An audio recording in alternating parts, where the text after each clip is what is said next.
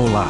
Agora você está assistindo Palavra do Dia, uma série de vídeos onde nós ensinamos você a pronunciar determinadas palavras em Quechua. Portanto, a nossa palavra do dia para hoje é Wayak Wayak Wayak Em português, a palavra Quechua significa saco sacola. Por exemplo, chay wayaqaykita kichari t'antata qusayki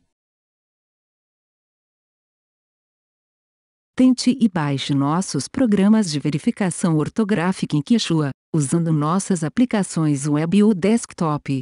Vá ao nosso site sc.inantim.com